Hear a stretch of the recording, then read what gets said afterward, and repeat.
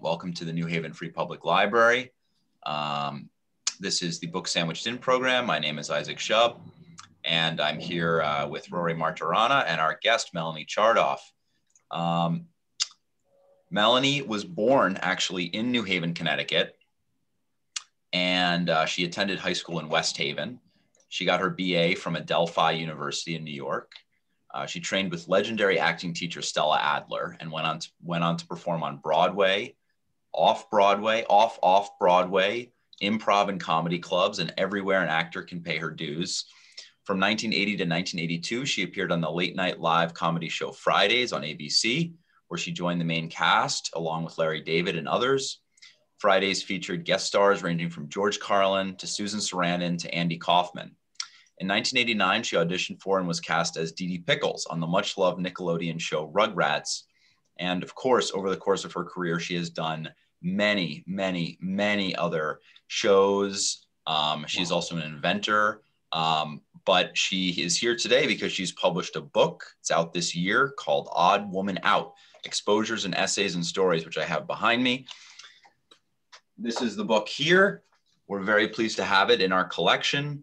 Um, and uh, I think it's fabulous. And as a, uh, a New Haven native, um, come back to us. Uh, Melanie was kind enough to actually come to the library um, to uh, take a tour, even though she lives on the West Coast. Um, and so I just want to say, you know, welcome, Melanie Chartoff. Thank you for joining us. It's my pleasure. Thank you both. So you um you grew up here in New Haven, and I guess we just want to start out by kind of covering that because you spent a, a good you spent your childhood here here and in West Haven, um, but you had a very tumultuous family life, which you talk about a lot in the book. Um, but at a relatively young age, you got involved in theater. Can you tell us a little bit about that? I know it's like a you know a huge question, but well, um, fortunately, there were a lot of people who were very obsessed with theater when I was young. Um, and we did a lot of plays at West Haven High School. And I would uh, audition at Oakdale, which was a music tent. I'm not sure they have that anymore, but um, and I would go to the Shubert Theater in New Haven, and I would go to the Long Wharf Theater, which is where I really got swept into the theater by an actor walking through the audience, speaking a, a monologue from the from the play Volpone. And at one point, he put his hand on my head and spoke part of this monologue to me about the deception that they were pulling on this older man who was pretending to be passing to see who's really a loyal person or who just wanted to grab money from his estate. And the moment he touched me, I felt I was in the play with him. And I was so intrigued by being in the light and, and bringing this story to other people. I preferred that story on the stage to my own home life. I found that imaginary stories were, were more, more appealing for me and they were a great escape. So of course, in high school, I auditioned for lots of plays and we had a very productive dramatic department at West Haven High School. Um, and I started my career there. And then I would uh, audition at Yale University and got cast in a musical called Three Penny Opera, which is formative to me. And then that show was repeated at the New London Opera Company, which was at the O'Neill Foundation in New London and I was on my way. I was working with professional actors, and I, I knew I wanted to major in that in college, and um, and because of the Adelphi University's proximity to the train to New York City, I was able to audition for summer stock and be on soap operas. So I really started my acting career in college, fortunately, which gave me a little leg up uh, when I actually began to try to make a living at it, which was a whole other kettle of fish, as you can well imagine if you're just joining us again, um, my name is Isaac, uh, coming to you from the New Haven Free Public Library. This is uh, the Book Sandwiched In program. I'm here with our guest, Melanie Chartoff, um, and my colleague, uh, reference librarian, Rory Martorana. And uh, Melanie, um, I just want to show a, uh, a quick um, video that I think gives us a little bit of a tour um, through you know, your performance career. Do you want to kind of set us up a little bit for that? Well, I think someone made this for me when I was doing a Zoom in Los Angeles, actually, and uh, they just took photos from my career and set them to a song from the musical version of my book, Odd Woman Out, which I was commissioned to do for the Joshua Tree Comedy Festival. So the background score of this short video um, is a, a, song called I'm Getting Famous, which was some of what the early part of the book is about, the phenomenon and the, and the trauma of suddenly being um, recognized by everybody, even the custodian at the restroom. I mean, it, it's really a startling change to happen to a person. Well, I'm going to share my screen and I think um, should be able to play that for us and then we can talk a little bit more. Uh, let's see.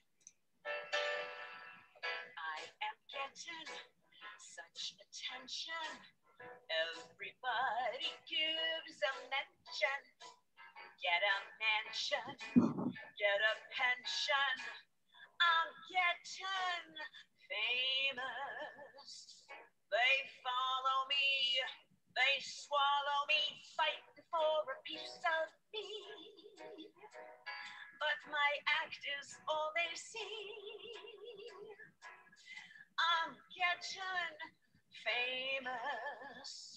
All this crap with people clapping, feeling scared all that's happening.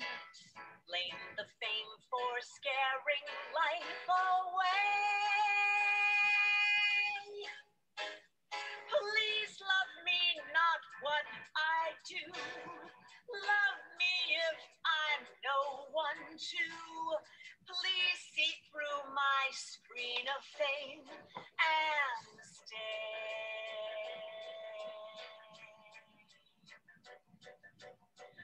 Curtains around a hurt that no big name or money can set free. When all I wanted was for him to see how many others would love me. See, they love me, see, they love me, see, they love me. See.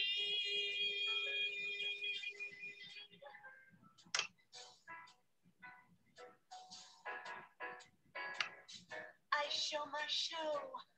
So you won't know how lonely I'll be when you go. Boxed inside a TV show. But getting famous. My name is up in the neon lights. Too bright to get near in the night. Fame smiles, days and sleeps in fancy silk designer label for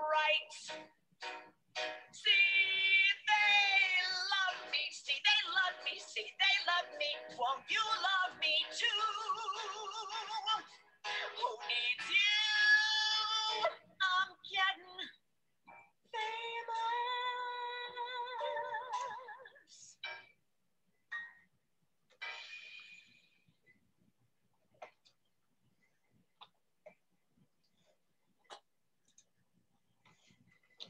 Well, your book, you talk a lot about uh, the process of getting famous, um, but you maybe you could start us off. Um, I think you were going to read us a little passage from um, uh, one of my favorite um, moments of your book, which is your your start on Broadway um, and what happens to that show. Oh, I actually don't have a piece prepared from that, but I'll tell you about the show in short. Mm-hmm. Uh, it was called Via Galactica and it had a great pedigree. Peter Hall, soon to become Sir Peter Hall, was our director. Galt MacDermot, who had written the music for Hair, was our composer. Raul Julia was our leading man. And I had my first on-stage Broadway love scene with Raul, which was, I still haven't gotten over it.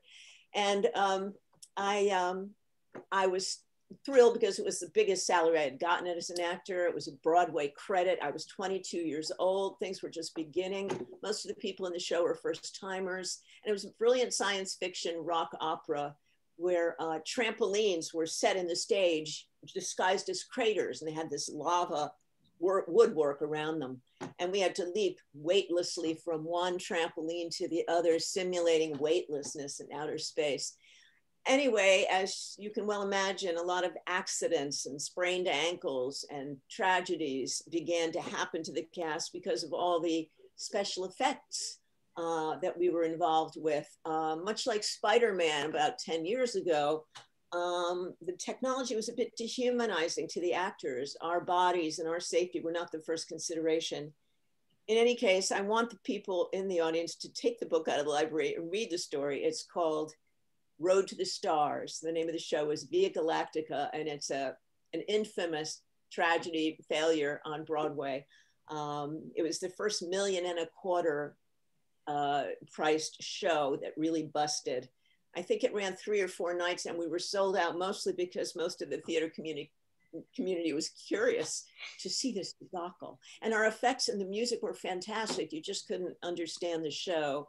And in the actors and our talent were dwarfed by all the machinery. So well, I just want to say, yeah, that I um, I, I, highly recommend it to readers because um, uh, Melanie, you know, is a serious actor who does uh, a great job of being, um, you know, commenting um, with great awareness about this process of being involved with all these people who are taking themselves very seriously um, and starting out at the beginning and uh, you know the cast is kind of coming together and as you say, you know, before too long, people are spraining ankles and getting a little disgruntled. And, you know, the director is still going on and kind of making these grandiloquent speeches about, you know, how, you know, we're changing theater, changing this whole structure of theater. And, and in a way, you know, it's like there are two sides to this because it was a very, very ambitious project and it was very new and exciting.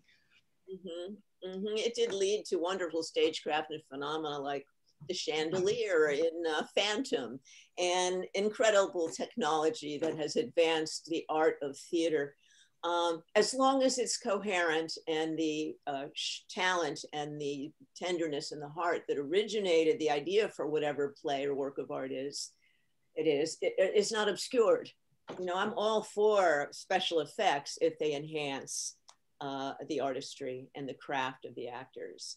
See, I'm someone who believes in the empty space, which was Peter Brook's wonderful book. I'm sure you have it in the library about all actors and performers really need is an empty space with some light to create great art, eloquent art. I'm sure over this last year, you've seen a number of Zooms where you found yourself moved and touched with just a face on the screen. So um, I'm all about craft and I'm all about our actor's craft and our musical craft not being obscured mm-hmm. by the artistry of the technical people. God knows technological people can create amazing phenomena now, very human seeming. Um, in the last few years, CGI has advanced to the point where little figures can make you cry and little figures can make you laugh. And they're just creations in virtual space. Um, and that's one of the gifts of the voiceover actor bringing its heart, his heart, her heart to the technology to animate it, to give it life. Well, you did bring, um, oh, I'm sorry, Rory. Did you want uh, So I had a, a question for you in the book. You talk about catching the acting bug early, and your father um, wanted you to continue working, but your mother was a bit more supportive for you. I was just wondering what advice you might give to young people whose both of their parents don't support their creative ventures at all? Well, generally, our parents don't support us because they feel protective. Yep. Uh, they want our um, kids to be autonomous and make a living. And I think a young person has to prove themselves to their family as well as to the community at large. And today, you have so much more access to visibility by making your own YouTube or your own TikTok. Um, and in this way, getting a well directed, well conceived, well lit, audible um, version of yourself in which you are feeling your heart in the midst of all this, directing it, writing it, starring in it, so that your folks can see and get some reassurance that you're not just blowing your horn um, needlessly, that you have something to convey that people will pay money for. So I think YouTube's are giving kids the opportunity uh, to really broadcast their skill. And of course, getting it seen is another part of your artistry. You have to really be a good public relations person without turning people off. And there's a really fine line there that young people have to follow. But there's some amazing creativity coming out of small towns, villages all across this country, and others uh, expressing itself now through the medium. And um, we didn't have that. We used to have to get a barn and put on a play when we were kids, but now there's a, a forum and it's a very competitive forum, but maybe you can pull through it. So that's the advice I'd get. Get someone to film you on their phone or your phone, edit it, make it tight, make sure it's competitive, and make sure there's some heart in it. Well, um, it did seem to me that you know, despite coming from New Haven, which is not the smallest town you know in the world, um, it is still a, a, smaller town, and and um, you, I'm I would think you you probably might have seen it that way at the time. Um, and you write you write in your book, I wanted a life in the theater where, where my uh, enormous feelings would be welcome, as they were not welcome at home. Um, so, in response to your desire to work as an actress, um, your dad said to you, "Who the hell do you think you are, Shirley Temple?" and meanwhile, you're getting hired to dance by Phil Spector, I think. Um, right. So you really had a lot of yeah positive affirmation. Um, I was just over at a bar mitzvah. Um, myself and another uh, very wholesome girl were doing all the moves that we saw in Hullabaloo and Clay Cole in the 60s and 70s. And um, we danced alike. We would mirror one another. And uh, we got seen and recommended. And so soon we were dancing with uh, the Ronettes and the Crystals before your time, but they were terrific Black girls groups. And Phil Spector was such a wily showman that he wanted to help those uh, Black girl groups cross over for a white marketplace. So he hired us wholesome uh, dancers and to back those girls up, uh, to make it a whole mise en scène of Black and white together, which I loved. I mean, I, I learned all my best moves from African American kids on bandstand. And I was on Connecticut bandstand. I don't think you have it anymore, but we had a very interesting replica of uh, American Bandstand on WNHC in New Haven. And I, I, was on that a couple times, doing the twist, you know, doing the the Watusi. I don't think the Watusi's done anymore because it would be seen as cultural appropriation. But back mm-hmm. then, um, we white girls wanted to do the black boy dances, and that's where I really learned to shake a leg, as they say, in New Haven on WNHC's American Bandstand, Connecticut Bandstand. Mm-hmm. Well, I, I wanted to ask if you could talk a little bit about, you know, some of your early work. Um, I mean, a lot of your formative work was in comedy, stand-up comedy, improvisational comedy, um, and um, what you know what that was like as a woman in a very male-dominated space, um, especially at the time. You said you know it took a while for men to stop being squeamish and to truly laugh at gifted female comics. I think they felt very threatened by women like Elaine Boosler, who's still a pal of mine today. I don't get to see her often but uh, she delivered like a guy. I mean she was a great joke writer. And um, phyllis diller sort of defeminized herself to get laughs. Uh, carol burnett as well. She didn't care how she looked. Um, and for me, it was a little difficult because I was pretty and I would wear gowns and really emphasize my femininity to, deliver comedy. And most of what I did was I would do characters, very broad characters. I would create scenarios and premises, and I would do these very broad characters and satirize um, men and women. And um, I, I was unusual because I was being feminine and satirizing glamour. I think there were a few photos that went by in that film strip where I'm in a gown, kind of acting, kind of making fun of glamour. But at a certain point, I had to embrace glamour, which is a character all women do. You know, glamour is when you hold your stomach in and you put on a lot of mascara and you shove up your cleavage. And, um, you know, I learned to do that without satirizing myself. And I found that it worked for me but comedy um, it happened to be a gift i had. It was a gift of survival so i wouldn't get beat up in, in school or my father and i wouldn't get into arguments. I, I would deflect with comedy. So that was a survival skill but i also am a good dramatic actor so i just don't get to do it as often. You had mentioned opening up for major comedians like uh, andy kaufman and, and robin um, williams. Um, and you mentioned like that's basically a death sentence for for comics. How, how intimidating was that, especially when men already had a hard time taking women comics seriously?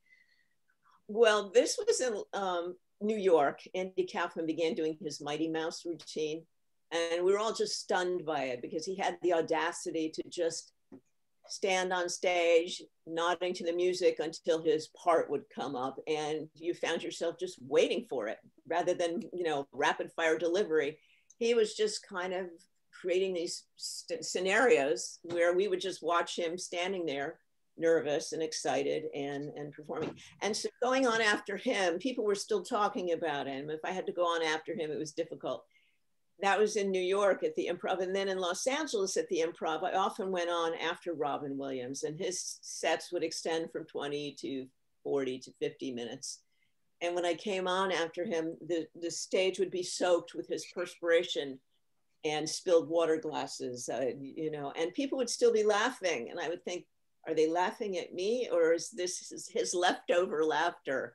Uh, but in any, in any case, it was hard to hit as hard as Robin. He was manic, he was brilliant, a genius, and he was improvising all the time. So, yeah, those were death spots. But fortunately, I did get my moments in the sun enough to get auditioned for other shows, and that was uh, I was lucky to be to be on amongst amazingly talented people. Well, I'm I'm interested. I've been interested in kind of tracing as your book does your not just your career, you know, your career development on the one hand, but also your relationship and and spiritual development. Um, and you talk about um, trying to commune with God or a higher power.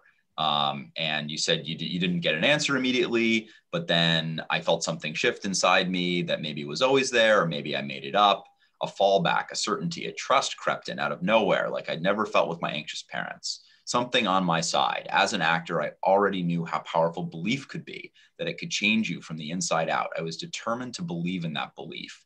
And I just am reading that because um, I felt that you did a lot of things really well in the book. And, and one of them is to convey um, some of the strengths of an actor and some of the special properties I think that an actor has. And, and that kind of that the, um, the strength of belief is is one of them yeah i was brought up in an atheistic family uh, my parents didn't uh, proselytize atheism uh, but i certainly heard arguments at our home on the weekends when my father's poker buddies would come over and they would rail about the existence of God. And one man would say, Of course, there's God, it's, it's all around you. And my father would say, Where, where?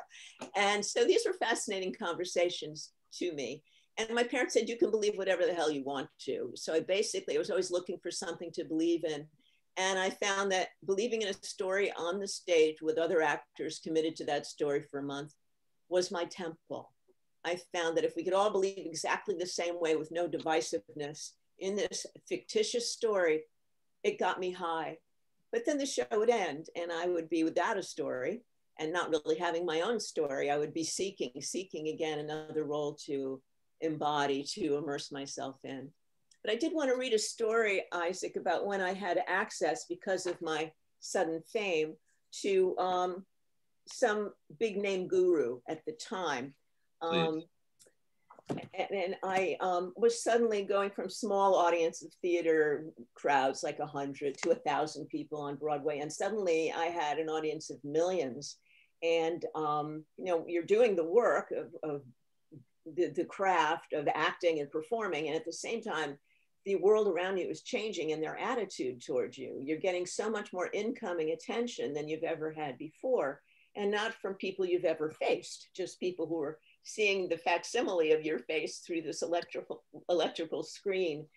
Anyway, the pressures were very great. Also, I had come to Los Angeles and was suddenly moving here. And I didn't have that many close friends here. I had performing friends, I had people that I'd done plays with, but I didn't have my buddies, my intimate buddies yet. And uh, so I was cast on this late night comedy show called Fridays. And uh, Michael Richards and Larry David and other big energetic talents and writers were on the show as well.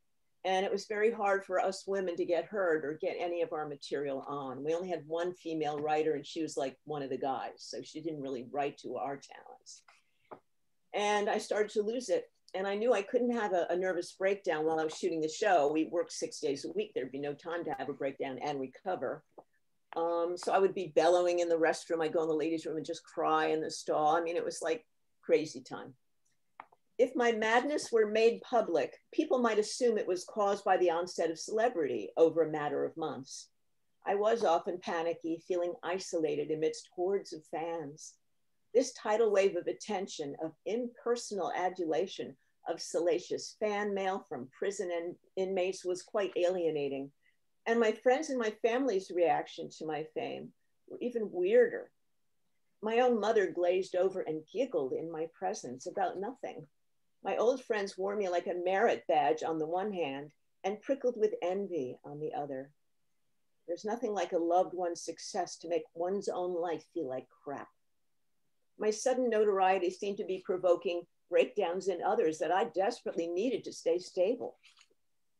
But all of this was exacerbated by the sexy, witty writer who'd first followed me home from our pilot pickup celebration.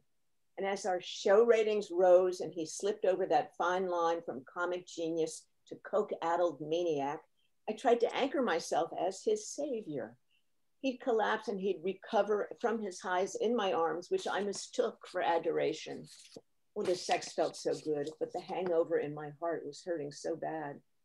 And once he was made head writer of the show, we could not escape one another, working crazy close, too many hours a day and days a week.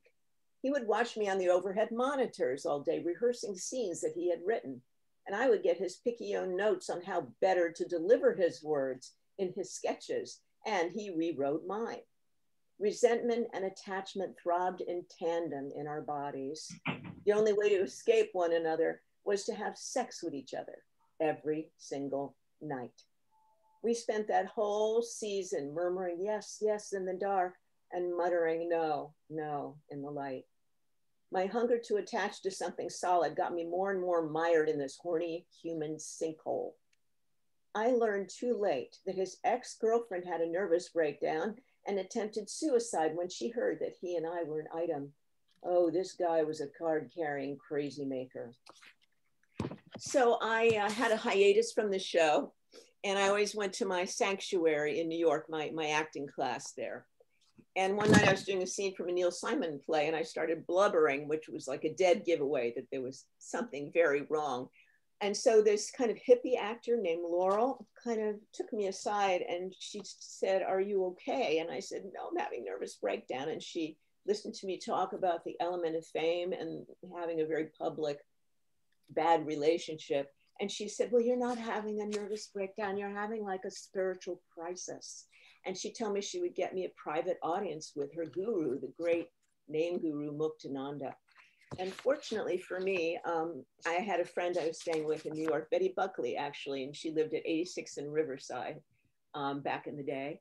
And the bus to go to his ashram was leaving right from her corner. And I thought, well, this is Kismet. It's meant to be. It's a spiritual epiphany. And so I boarded that bus and went up to the Catskills to what used to be a big resort nightclub, uh, Jewish kind of Catskills, the Borscht Belt.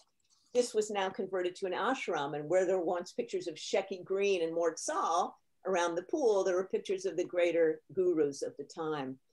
So um, I knew I was in another world, and Laurel arranged, arranged an audience for me, mostly because I was a, a television actor, and that made me very suspicious of this guru. Um, and I was fearing what I would be asked in return for my free audience. so Laurel, dressed in shimmery yoga attire, ushered, ushered me through a gold door off the ashram lobby called the media room. And there sat about 30 people, among them a well-known TV news anchor and crew and the singer John Denver. So much for escaping the media and into an alternate universe. My cynicism tidal wave in. I might need to escape from this escape, I feared. We sat down on the plush rug, and Muktananda, seated on a satin tuffet with a gorgeous sari clad Indian woman translating to his right, was blessing an older man who bowed and slid blissfully backward into the circle of observers, his face covered in tears of gratitude. And then Laurel shoved my gift basket forward, and I crawled alongside it to face the guru, the guru and his beautiful translator. I felt like an imposter. Why have you come? The translator asked in a deep and sensuous voice. Baba fanned himself with a peacock wand. Please tell him that my mind is broken. I am very unhappy. The lover translated to Baba and he babbled back to her in Indian. Baba says you must stay here and meditate with us at the ashram for one year, she said um, tell him thanks, but I have to be back at work in July. I was so hoping that the speed read version of enlightenment would be instilled, instilled by July 8th. I'd pay extra, I offered. There was a quick back and forth between the translator and Baba, and she said, Baba says your peace lives here. But I'm on contract, you see, and there wouldn't be any peace for anybody or me if I broke it, I stammered. Were they going to take me captive? My agents would be furious.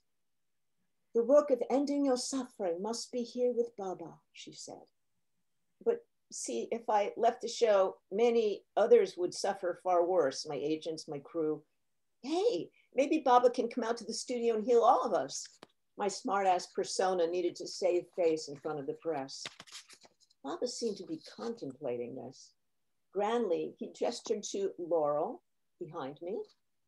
Can you give her a job on your show? The interpreter asked on his behalf.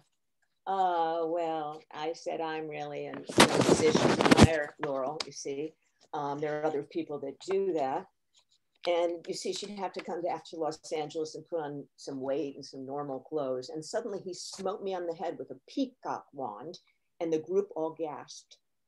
I froze, but I had the presence of mind to open to the possibility of his externally applied enlightenment, his awakening of my Kundalini energy, his opening of my third eye, his goldening of my aura. I drank in the incense, I breathed it deep. Oh, I wanted it so bad. I was starving for a mind change to perceive things and myself differently, to dissolve my ego. Please, please, pretty, please. The whole room held its collective breath. Those few seconds passed like years. I surveyed my body and my brain for transformation. Was I blessed by an instant fix? Moved to change my life, my outlook, give up acting, comedy, clothes, meat, men, and money? I felt nothing. Just like that dancer girl in the musical chorus line on Broadway. So I bowed. I combination crawled, scampered backward. Others scanned my face for transcendence finding it inscrutable. Then somebody else's pricey fruit basket from the gift shop was shoved forward, and Baba's playful gaze was on to the next, and I was set free. As I rushed down from retrieving my things, new devotees poured off the bus, and I got back on it alone for the trip back to New York City. Although relieved to be leaving, I felt heaviness rekindling in my belly. I was sad that I was so resistant to the gifts of the mountains, Baba, and Laurel, that my misery was guru proof. I would have to find another way to heal my mind. So there's a cautionary tale called My Obscured Third Eye, which is midway through the book.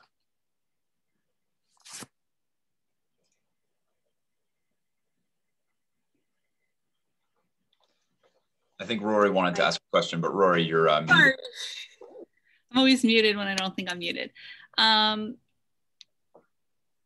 so there's a lot of this in the book, the themes of sort of trying to find yourself and also um, your different romantic endeavors and trying to find the perfect person for you. Um, and you're very upfront with a lot of the romantic mistakes that that you've made in the past. Um, knowing what you know now if you could go back in time would you have done anything differently? Or do you think that would have ended with you not meeting stan?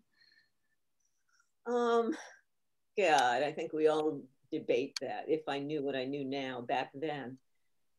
Stan and i have both discussed because we both had a lot of challenges growing up um, a lot of anxiety that kept us from seeing clearly, um, that we would not have been ready for each other. There were certain learning curves that he and I both needed to survive before we would be ready for a monogamous, committed, all enveloping opening of the heart. Um, I think he and I are much more interesting people, both very odd people, by the way. Uh, we became even in our merging. Um, I think we learned a lot from all those traumas and recoveries. Um, it put a lot more uh, interest into us. You know, my mind, in all honesty, slides off of people who've never had a trauma, people who are more corporate, cookie cutter kinds of people. I more beautiful people. I find my face just kind of slides off them. It doesn't get any traction. The people that interest me are the complicated and the complex people. That's just me. Others may feel differently. Um, and generally, we were shaped by confusion and having to make solid choices in, in, a, during a breakdown period, where when you're in a breakdown, sometimes the, the few choices and the shining choices become really clear. and uh, you know there's no other way to go. One of the things that I dealt with a lot was, you know, I really hit the top. I was kind of the girl du jour in my late 20s for a short time. And when you hit the top, maybe not for everybody who's really well brought up and solid, when you hit the top, you find another bottom has just begun. And, um, you know, I don't know them personally, but I think that's maybe what George Harrison went through when he was a Beatle, that he found getting that famous, which is something young people sought and then suddenly were immersed in, can be very um, disturbing to the mind. It's not a natural phenomenon. And, uh, you know, when there was just theater, Greek live theater through the ages, just a one-on-one relationship with a number of people, a couple hundred or thousand people. You could feel an intimacy, you had control over it. But when you're on a television screen and millions of people have access to you, uh, it's a very different phenomenon. And a lot of people want that kind of fame. A lot of influencers, you know, want that kind of fame to be recognizable and visible everywhere they go. There's some downsides to it. And um, you have to have a very strong support system and a real strong sense of yourself to surf through that. That was my experience. Other people may mm. flow through it quite easily, hang on to themselves through it. I didn't. Yeah, you give like a very, it seemed to me, unvarnished view of what it's like to um, start to become quite famous with a lot of people really recognizing you um, to be on TV, you know, to have your name kind of emblazoned on this television show and um, to become a household name. And um, I'm curious. Parts of, it, parts of it were wonderful. I mean, mm-hmm. you know, uh, people will will say uh, you get a lot of perks. You know, you you get a lot of things for free that you couldn't afford when you weren't famous. And um, one of the things I loved the most was I'd call up a, a, a, number to pay a bill, and the person on the other line would recognize my voice or my name, and they would say, "Hey, Mel, I, I, I was so moved the other night by something you did, or I laughed so hard at something you did the other night," and that was like a one-on-one, immediate kind of audience theater thing. That that made me feel wonderful. And uh, the thing that was disturbing was the endowment of power that people gave me who didn't get the talent. They just got the sense that there was this phenomenon. There was a person on their television screen. They owned that person. Um, they had an intimate relationship and they had certain entitlements uh, to get from that person that could be very disturbing and disturbed a lot of people. I had a lot of nutty fans that showed up at the studio and insinuated themselves onto the lot and had to be shaken off and taken away by security. Um, you know, several of us have experienced that at ABC Studios. Back in the day, the soap operas, General Hospital, Lawrence Welk, and Fridays were all shooting from the same studio. so we had different strata of looky-loos and fame seekers who would come to the gate. Very polarizingly different groups. The soap opera group was so different from the nighttime comedy group. and so different from Lawrence Welk's group. I actually had to share a dressing room with Lawrence Welk the first year I was on the show because we shared his stage and he and I had the star dressing rooms. And I would come up and there'd be an accordion, you know, lying on the floor. and our, the, the, clashes of consciousness between Lawrence Welk's show, which was a very straight and wholesome show, and our edgy, politically liberal show following in the next few days. It was like a completely different plasma was in the air uh, when they left and we came in on Thursdays. Well, I'm very curious to ask. Um, you know, you've given such, I would say, um, like I said, you know, an unvarnished and, and even cautionary view of fame. Um, can you talk a little bit about, um, you know, what other, you know, people who experienced fame kind of shared with you about how they felt about it? Did they have similar feelings about it? Um, because one other um, one scene really um, stuck out to me, which is when you go in to read um, for uh, the King of Comedy, uh, Scorsese and De Niro, and you have this kind of simmering hatred towards De Niro. I think because he's just really famous, and it's he's very and it's like, well, where does where does he get off? You know, what what's that? You know, and it's, like this desire to prove oneself that's very relatable. And it turns out, oh, he's very friend, he's very friendly you know, but you would almost prefer that he wasn't so that you could despise him. Um, not you, but one would. Um, They were the sweetest. Martin Scorsese and Robert De Niro were the sweetest. And a friend of mine, Laraine Newman, also auditioned for that part. Neither of us got it. Uh, Sandra Bernhard was wonderful in the part, uh, playing a crazy comedian. Um, I was so intimidated by everybody I, I, was meeting who was a big name at that time. It would make me feel like a nothing, you know, just like a little piece of lint. So one of the ways I goaded myself into having confidence was I'd sit in the lobbies while I was preparing the, the uh, story that I was going to be in. I was also angry at the fame, the, the person who was about to see me, all the power they had. And I would say, oh, screw you, or, you know, the hell with you. Who do you think you are? You're nothing good. And so when De Niro came in, I was in the middle of one of those uh, inner monologues.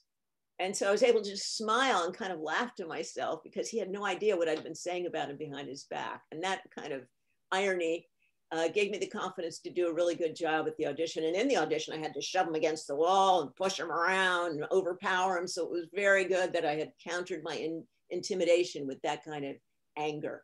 That's what I needed in order to be in the room at first with, with those big names who I admired so much. And that's a skill I teach. I, I coach a lot of young actors uh, online uh, these days.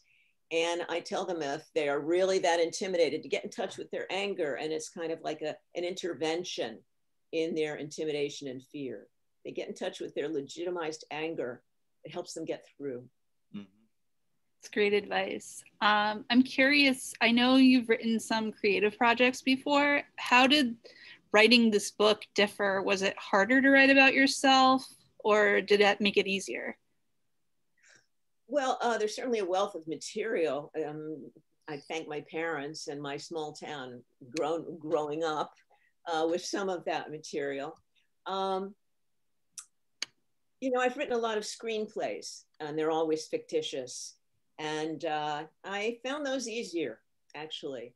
I didn't have to drudge up and confront myself. It was like an acting role where I would be embodying the part of a uh, Chicago trading floor smartass guy um, I love embodying African American people in my writing, although I think that's not allowed anymore. Um, but I think you can write fictitious pieces and uh, still get away with it. Um, I had such influence by Black people in my, my best friend in, in, in West Haven High was a Black girl, Susan Holmes. She became the valedictorian actually. And um, I did not see color because my father uh, was very friendly with everybody. We uh, we were uh, my father owned a Jewish tailor in a next to a Chinese restaurant in uh, New Haven at Chung King Restaurant. We had a, a tailor shop, a dry cleaner and tailor shop right next door to Chung King Restaurant. So the waiters were my babysitters. They would take care of me often uh, between lunch and dinner when my parents couldn't afford a sitter after school. So um, I've been thrown amongst people of color all my life. It's never been a big deal to me. And I love writing African American characters. I have a screenplay called Rachel Face the Music, which is about a white woman on the tra Chicago trading floor who turns a little black girl's intellectual property into a stock, a penny stock, and uh, corrupts the girl.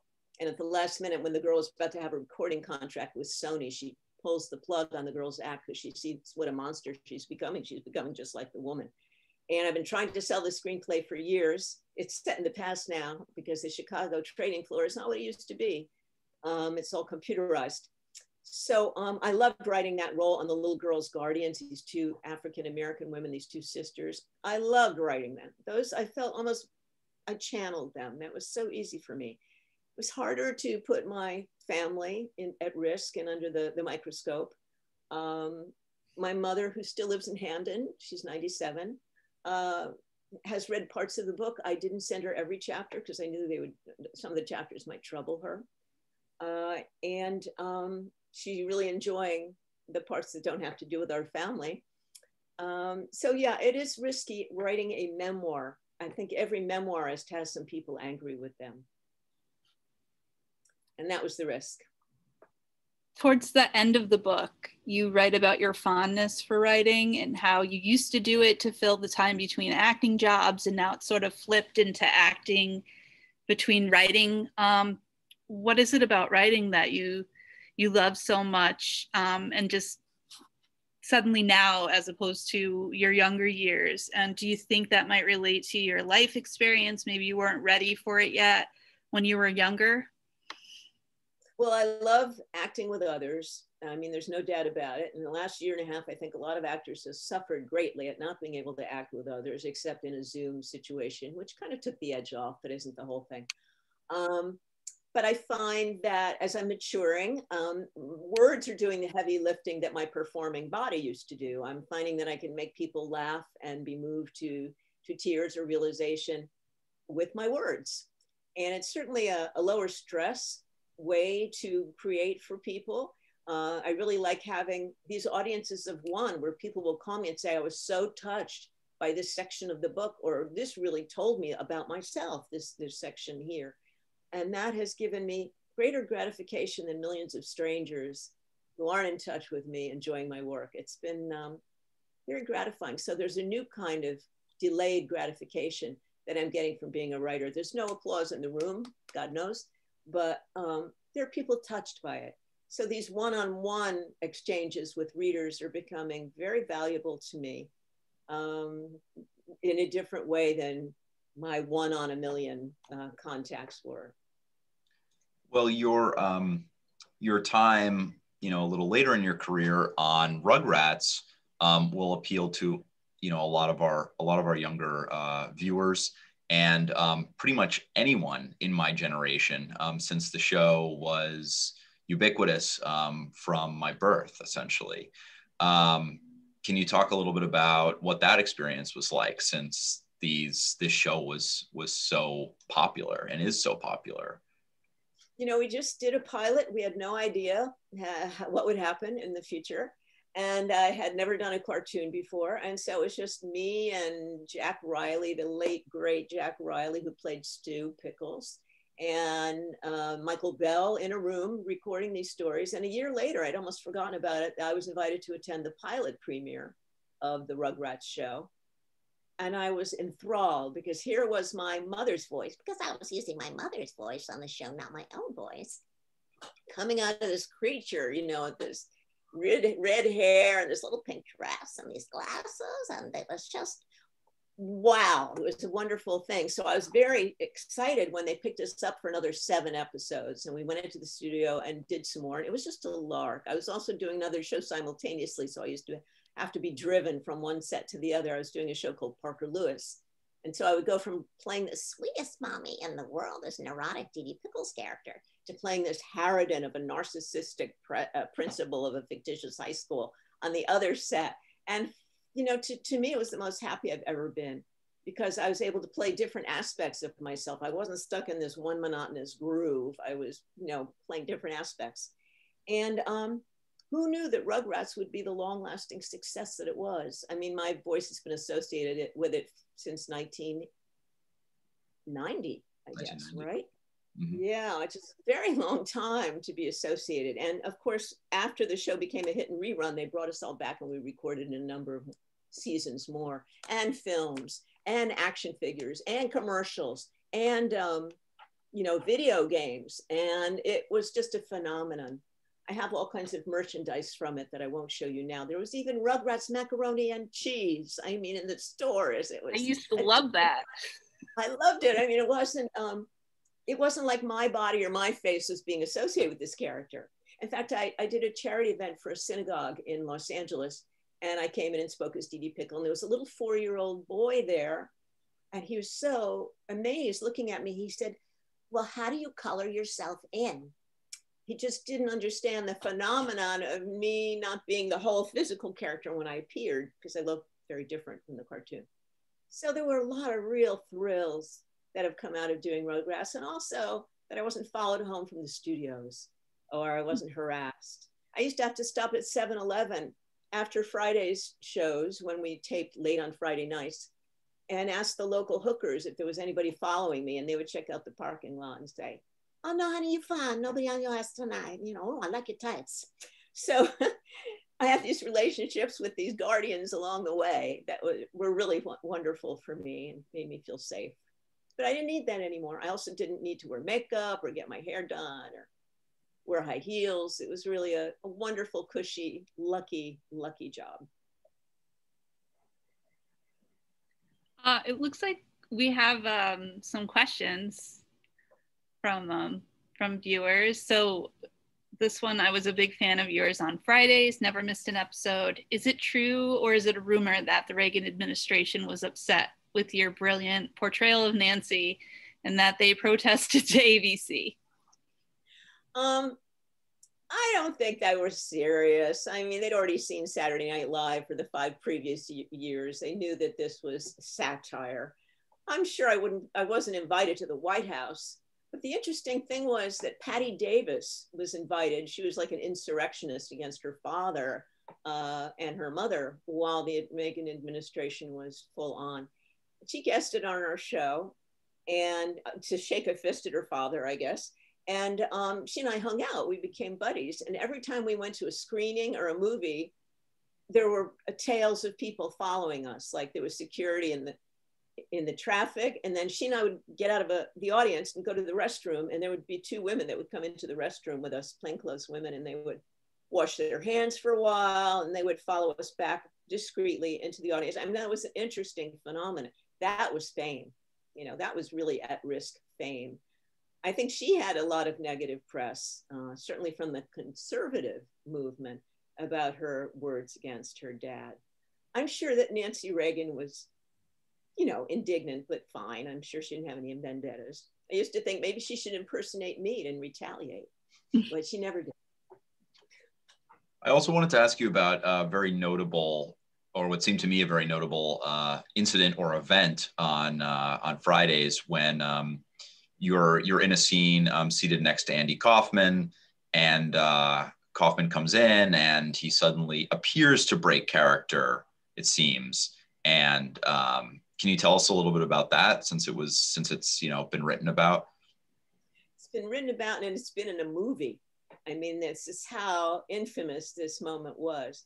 Well, we'd worked with Andy before, and I worked with Andy before, and he were kind of, he and I were kind of buddies he was a really nice Jewish guy. I know that it's, it's hard to believe. He was a really nice person in real life, if he ever had a real life. And um, we knew at the beginning of the show that he was going to be breaking out. Uh, we also understood that since that sketch never really had an ending, we were in for some chaos. And we were told to just stay in character and like go for it. Now, the crew didn't know this, and the other cast members did not know this either. Uh, we were just told to play along. So I'm doing this scene where uh, a very conservative group of people each go to the restroom one by one and get stoned and come out changed. And so uh, Maryedith went to the restroom, Michael Richards went to the restroom and came out kind of altered. And then Andy went to the restroom and came out and he looked very troubled and bewildered. And he didn't say his next line. He says, I don't want to act stoned. I can't play stoned. And I went, what are you saying? I, I stayed in the, the, you know, the the prissy little wife character, what do you mean you can't play stoned? And so Michael threw the, the cue cards at Andy, and the crew got like really scared. I mean, this was traumatic for the audience in the room and for the crew because they didn't know what was going to happen. And then Mike and, and and, and Andy got into a fake fight, and our producer came up on stage and grabbed Andy, and then they went they went to commercial. And so this was kind of reality TV, you know, very rudimentary reality TV. And this really put Fridays on the map of all the great artistry and the talent that we had. This was the thing that people continued to talk about this debacle of an incident. You know, and I was a Broadway professional. I was used to, to getting laughs and controversy from good work, but I had to admit that this breakout has stuck with me. Almost everyone asked me that, Isaac. I'm, I'm sorry to tell you, you're typical. I'm, I'm well aware. That's okay. it's on t- it's on YouTube if anybody is interested in watching the mess that it was. I also I was interested. I, we watched like a, a bunch of Fridays before um, this event, and I think you mentioned in the book you're friendly with Jane Curtin, and I was watching like because I was familiar with her from SNL and her newscasting for Weekend Update, but um, it was cool to see you doing that too. Um, did you guys like chat about that since you're friends? Never got to. We weren't friends. We were actually in an off Broadway show together called The Proposition, which was an improvised musical review that came down from Boston. And I was one of the first New York replacements. And um, she's a genius improviser. And she could do so many great characters, which, like me, she never got to do on Saturday Night Live because the guys were the most aggressive. And and Gilda was so good and so aggressive. Um, it was just very funny because I had auditioned for Laugh-In, and I, in my head I thought I'm meant to be in this show. I'm, I can do all those things, and I'm funny, and I'm an improviser. And when I didn't get it, I was sort of shattered. And then they created a new show just like that, an imitation clone of that show, and I got to be on that one. So I thought, how ironic! Jane will see me sitting here, told to do what she did on her show, and she'll think I'm stealing from her. Mm-hmm. And uh, I think she had no, no no gripe about it at all. She probably thought also that it was very ironic that I was in the same seat as she, dealing with the objectification that the writers always put on us.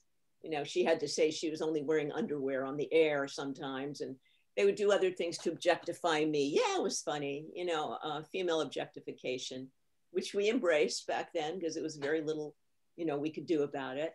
Um, it was a big part of comedy and um, we played it. I noticed that when I was watching, I was like, um, because our supervisor Seth was a big fan of that show, and I was like, you know, like she's good, but a lot of that's not funny. It's kind of offensive, and he's like, oh, it's generational, you know. So um, that was interesting to me. I'm glad you brought that up. Yeah, I, I'm sure we're all seeing stuff from like this 50s and 60s now that pisses the hell out of us. I mean, it's just so insulting. I mean, there's so many things just shot three years ago that are assaultive on our new sensitivities. We are seeing race so much differently now. We're seeing female sexuality so much differently now. It's really a blowout time that we're living in right now.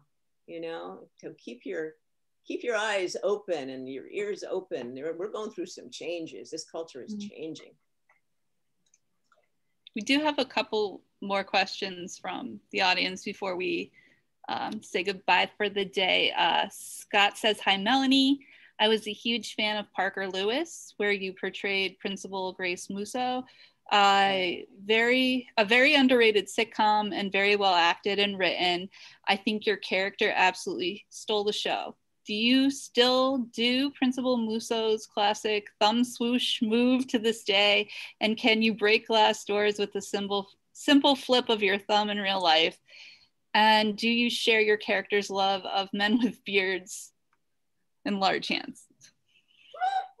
My husband has a beard and large hands. That is so funny. He grew it during the the the the, the, the uh, pandemic era. Um, I do like beards um, and strong hands because I have really flimsy, weak hands. So I'm, I'm a fan of strong hands. Um, you know, that was a show where special effects really enhanced my character. And when I first read the script to audition for it, I thought, this show has special effects in almost every scene. We're going to be shooting all night. And it really was like shooting a horror movie or a sci-fi movie. I mean, my, my thumb would smoke sometimes, smoke would come out, fire would come out my ears, uh, sparks would come off my high-heeled shoes, um, and glass would break every time I, I opened a door or slammed a door. Um, no, I can't do that in real life. Thank God there'd be a lot of expense around my house. if I could. But boy, it was fun to have that kind of power and you know put upon put upon that character. I love that character, and I love the kids on that show. They're all grown and gray-haired men now. Um, yeah, really, that was a great time. You know, it didn't run long enough for me to really get all the satisfaction I was hoping for out of it. But yeah, they're, they're, they're YouTubes from it, and they're still holding up. Well, before we go, I just want to uh, remind people that we do have a copy of Melanie's book here. Uh, it's behind me as well as uh, the best of Fridays. Um, and there's more than just the Fridays that are here, but we do have this at the library and you can borrow it. Um, and um, I think, um, Rory, do you want to take us out? Yeah. So, um, hang on one second. Um, so this has been book sandwiched in, and this was brought to you uh, uh, made possible by gifts to the New Haven Free Public Library Foundation. And if you're interested, if you enjoyed participating, uh, please consider making a donation at nhfpl.org backslash donate um, to help support our collections, our programs and services throughout the year. Um, please join us again at the same time in two weeks on Thursday, June 24th. Isaac and another of our colleagues will be chatting with Dr. Brian Mitchell about his new graphic memoir, Monumental Oscar Dunn and His Radical Fight in Reconstruction Louisiana. Information about this and all of our events is available on our website at nhfpl.org. And thank you so much, Melanie, for coming and, and spending some time with us today. It was so great to see you again in this time without masks. Um, and we, we really enjoyed you and your book.